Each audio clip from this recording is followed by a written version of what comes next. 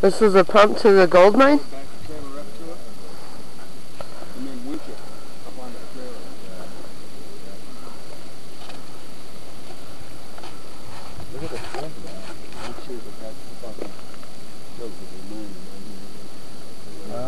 Yeah, you're, you're close. There, there's gold up in here, for sure.